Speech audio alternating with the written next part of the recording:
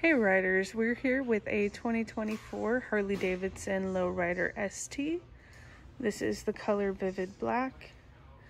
And this bike comes with the 117 Milwaukee 8 engine. We have the dual disc braking system with the inverted forks. That beautiful FXR inspired fairing. This bike does come with some customizations. It has the Screaming Eagle Öhlins upgrades. So just when you think a ride can't get any better, it freaking does. She's loaded up, ready to rip. We're open every day except Monday. Come on out and we'll be happy to see you.